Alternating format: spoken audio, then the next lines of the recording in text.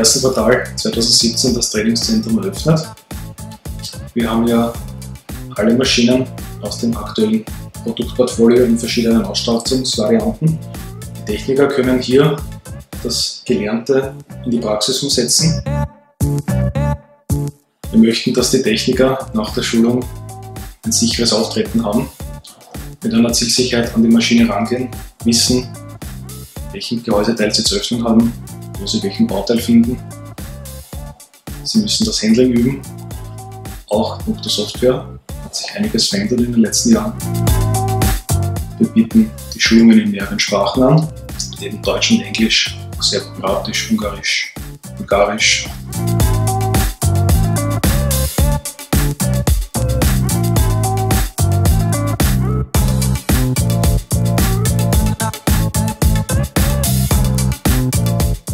Nach so einem Training vernetzen wir uns. Partner werden informiert, nachgeschult. Es finden auch Informationsschulungen statt, die einen Zeitrahmen von ein bis zwei Tage haben.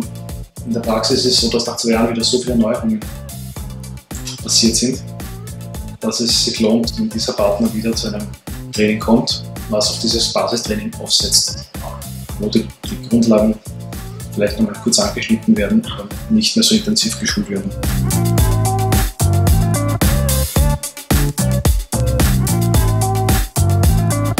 Hier erwarten wir eine Einschulung für die ganzen Geräte und Maschinen, dass man sich wirklich gut auskennt mit dem und das Wissen mitnimmt und vielleicht weitergibt. Es ist schon sehr wichtig, weil man den Kunden, der erwartet einen professionellen Dienst von uns und ich glaube, ohne Training war das nicht möglich, dass man den Kunden ein professionelles Verhalten leisten können.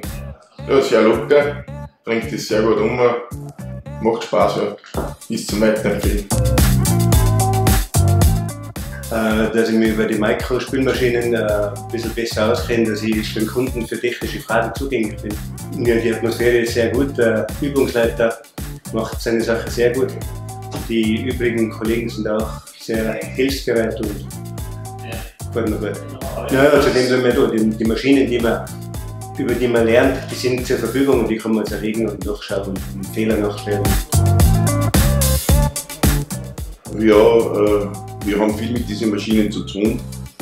Und wenn man die aufstellt, muss man sich ein bisschen auskennen. Auch. In diesem Zusammenhang mache ich jetzt einmal die Grundschulung, damit ich eine Grundahnung habe. Äh, bei so einer Premium-Marken wie Maiko ist es wichtig, weil man beim Kunden einfach auch auftreten braucht. Weil das eben eine teure Maschine ist und da kann man nicht äh, hingehen und offensichtlich sich nicht auskennen. Da muss man schon ein bisschen ein Profi sein.